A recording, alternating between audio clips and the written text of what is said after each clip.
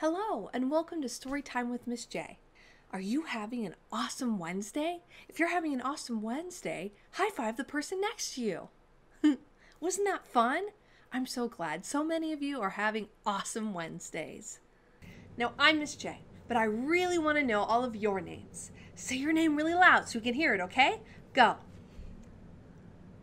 Ah, okay, so we have Emily and Grace and Christopher and Charlie and William and Kevin and Timmy and Theodore and Helene and Lisa. I'm so glad all of you could join us today.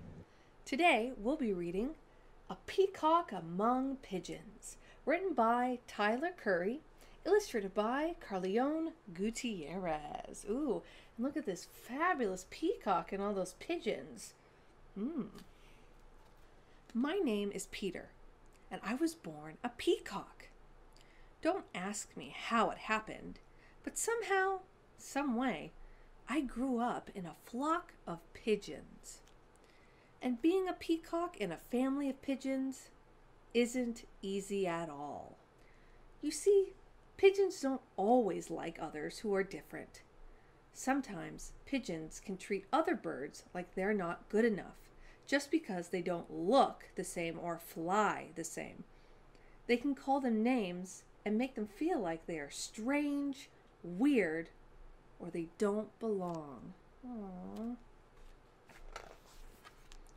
My pigeon flock thought I walked funny.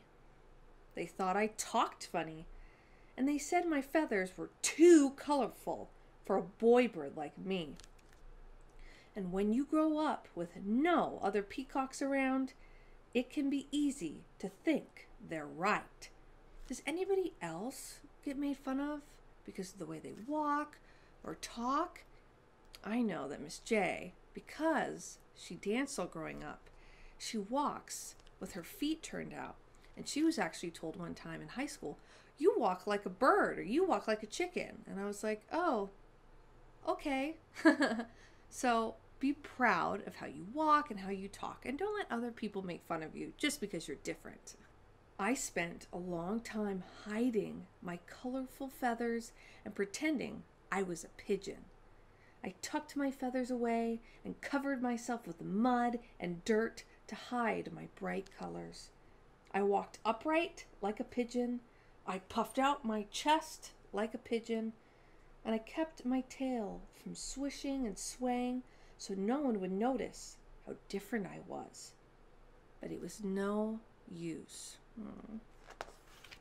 Whenever I relaxed, one of my flashy feathers would slip out. Everyone would notice, point, and laugh. That's never fun. Again, Miss Jade went through that too. And if you're going through that too, I'm so sorry. And also, continue to be just who you are. Okay? My pigeon friends would call me names, and they would pretend to walk like me and make fun of my voice. Even though I acted like them, any beak with two eyes could see I didn't belong. Never let your friends make fun of who you are, because really, if your friends are making fun of who you are, they're not really your friends.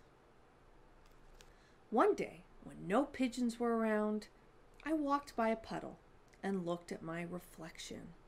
The bird I saw looking back was an ugly bird who was flashy, flamboyant, and embarrassing. Aw, I hope none of you ever look at yourself in the mirror and think you're ugly or embarrassing because I promise all of you are not ugly and you are not embarrassing. You are all beautiful, special people. I thought my blues were too blue. My greens were too green.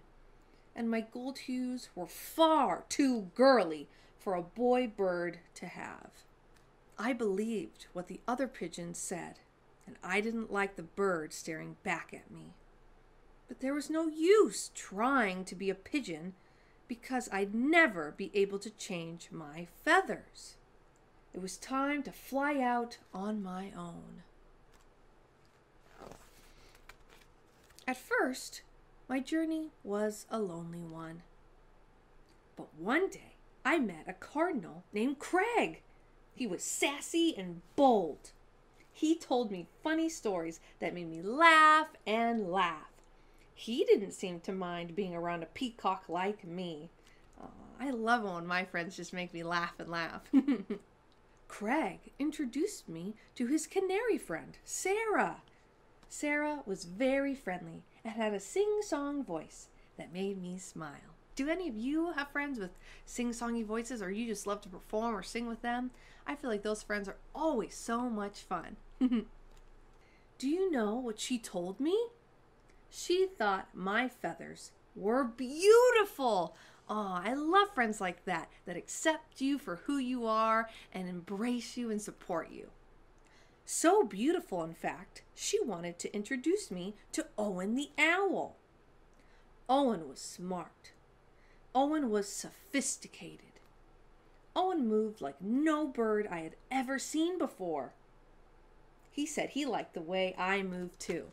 Do any of you have friends like Owen the Owl who are smart and sophisticated? Or maybe you're that friend. All kinds of friends are the best kind of friends. Hmm. Craig, Sarah, and Owen introduced me to more of their friends, each unique and beautiful in their own way. Aww. there was Fanny the flamingo. Ooh, flamingo! who made even me feel plain and ordinary with her dazzling pinks and whites. There was Henry, the hummingbird, who never finished a sentence before fluttering away. there was Benny, the blue jay, who was the fastest bird I had ever seen. And there was Penny, the parrot, who was very nice and loved to talk. Those sound like awesome friends. Do you guys have any friends like that? there were so many different birds. Some bold, some sweet, some smart, and some funny. But each one was special in their own way.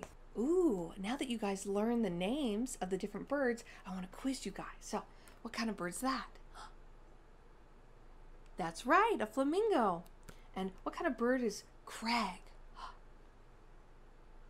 You guys are so smart. That's right. He's a cardinal. What kind of bird is Sarah? Smarty pants. yeah, she's a canary. And then how about how about Benny? It's kind of easy because let's look at the color. Oh, so he's blue. So Benny is a blue. That's right, blue jay. And then we have Owen. Who who is Owen? That's right, Owen the owl. Silly Miss J. And then who's on Owen's head?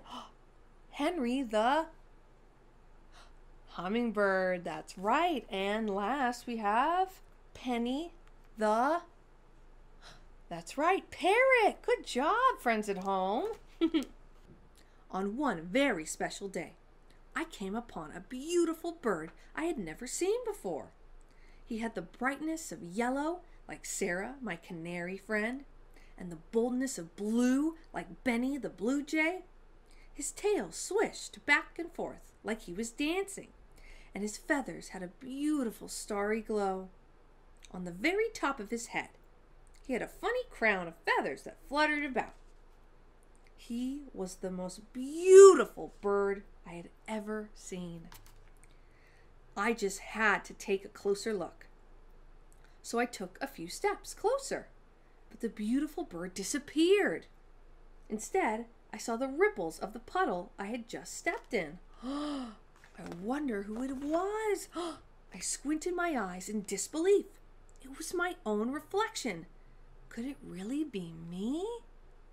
For so long I saw what the pigeon saw, and although my feathers never changed, I saw myself differently after meeting new birds who were special and liked me for the peacock I am.